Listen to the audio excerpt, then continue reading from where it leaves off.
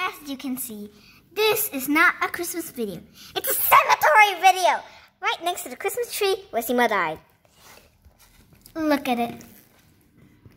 Guys, this It's is a little blurry first. Guys, it's not cemetery, it's a grave. There we go. Seamore the Seal, born 2020, 14th of January, and died today. Died from falling upstairs. You might have seen that video. And Seamore himself. I told you I'm not dead! And Seamore himself. What? Okay, so, I'm not dead! so that's probably the end of the video. Goodbye!